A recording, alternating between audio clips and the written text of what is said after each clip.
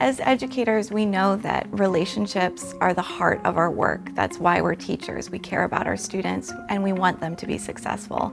The Humanizing Online STEM Academy has had a profound impact on how faculty have been able to support our students. So the Online STEM Academy provided faculty step-by-step -step directions and inspiration on how they could leverage technologies to create really powerful interactions with their students. As a result of me taking the academy, I would say one big change I see is an increase in communication with my students. So if something sort of goes wrong with them taking the class and sometimes they might just silently unenroll and disappear. Now they reach out to me and I've seen a major increase in retention due to that increase in communication. There was a video in the Liquid syllabus that, you know, Professor Choate took the time to sort of introduce herself, give us a breakdown of like how the class was going to work, what to expect. Seeing Professor Choate in that video just helps me feel less anxious. It matters that an instructor cares because my first year here, I was super overwhelmed. I didn't know how to communicate. I thought I was organized already, but I had no idea.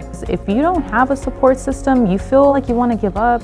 There are students that were in my classroom that would want to ask but they just didn't. Professor Cho actually has one of the nicest layout and canvas that I've ever seen. It was really organized. She provided additional lectures that we could watch videos on and, and sort of just dive a little deeper into the topics to understand. The class was by far one of the most challenging classes I've taken so far. So having the opportunity to go back and listen to her lectures once more made it that much easier to overcome some of the challenges.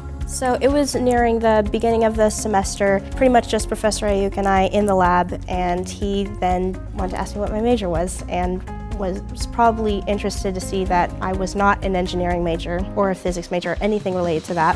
Fast forward five quizzes into the semester, I received a quiz back. Instead of commentary on how I could improve or something with an exclamation point at the end. Consider majoring in three different engineering majors or physics, all caps. A few weeks following that, he then proceeded to ask, so did you consider changing your major?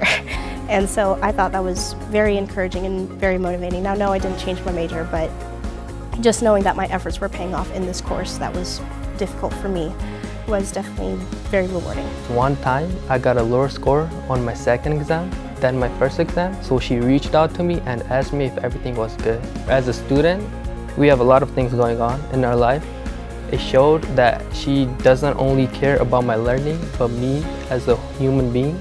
And because of that one little thing that she reached out to me, that made me do even better on my third exam. It's normal not to understand things the first time around and being able to establish a good relationship with your professor where you can say, hey, can I talk to you like on a separate note and can we discuss this a little further?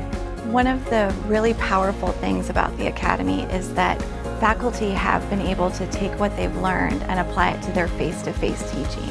And we have research from our project that shows that students in online classes that are taught by faculty who complete the academy experience high rates of belonging.